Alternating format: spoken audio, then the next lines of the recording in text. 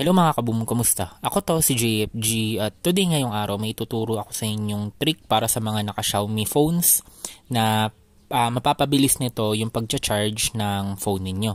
Pero kailangan um, compatible yung phone mo sa um, MIUI version 12.5.6 pataas. So currently yung version lang sa akin is 13.0.3.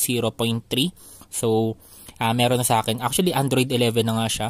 Ngayon kung hindi ka pa 12.5.6, uh, pwede mo na siyang i-update or kung hindi support kung hindi ka makakapag-update, ibig sabihin uh, hindi supported yung phone mo. Okay? So with that said, tuturo ko na sa inyo. So para magawa to, actually hidden settings 'yon, ibig sabihin hindi siya hindi niyo siya makikita dito sa settings or kahit sa battery uh, settings, hindi niyo siya makikita.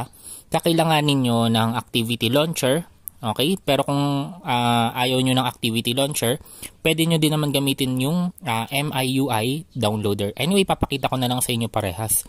Unahin na natin dito sa activity launcher.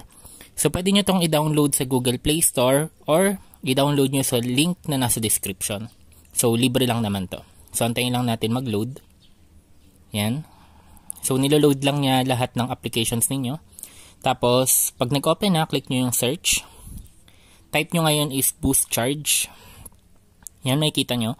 Meron sa security na boost charging speed na pag kinlik natin is mapupunta kayo dito sa hidden settings na boost uh, charging speed. Tapos meron dito boost charging speed, notify about boosting um, and set battery level for reminders. So turn on nyo lang to, then okay na yan. So bagong feature lang to. Actually beta, uh, beta test pa lang siya. So, mag-upload siguro tayo ng hiwalay na video tapos papakita ko sa inyo yung difference. And kung ayaw nyo naman ng activity launcher, pwede nyo itong gamitin yung MIUI downloader and automatic naman niya madedetect yung device nyo. Tapos, pag open, click nyo lang tong hidden features. Actually, napakadaming hidden features dito na hindi nyo nakikita sa phones ninyo kasi nga hidden eh. so, anyway, pag-uusapan natin yan sa ibang video kasi masyadong madami.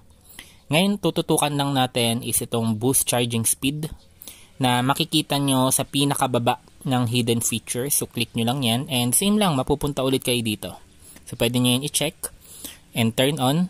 And pwede nyo lang i-try. Tapos, pwede nyo i-compare kung mas mabilis ba mag-charge yung phone ninyo or mas mabagal. Kagaya nga ng sabi ko is nasa alpha or beta phase pa lang tong feature na to kaya hindi pa siya nilalabas um, sa general settings. Currently, nasa uh, hidden settings pa lang siya. Pero available na siya na uh, gamitin. Then, makikita nyo dito, the lower your battery is, the faster it will be charged. So, this feature, uh, this feature might heat up your device. So, um, be careful lang every time na gagamitin nyo to. Make sure na yung lugar ninyo is hindi ganun uh, kainit. Hindi yung sobrang init kasi, syempre, uh, sobrang mag-overheat yung phone nyo pag ginamit nyo to.